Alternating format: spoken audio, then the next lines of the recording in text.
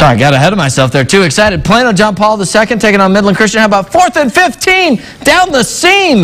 Mustangs go for it, and that's the result you're looking for. And then the, was that horns down? Uh, that was, that was. Playing Trust the- me, I saw it live. Playing the Cardinals. And love I'm that. not sure.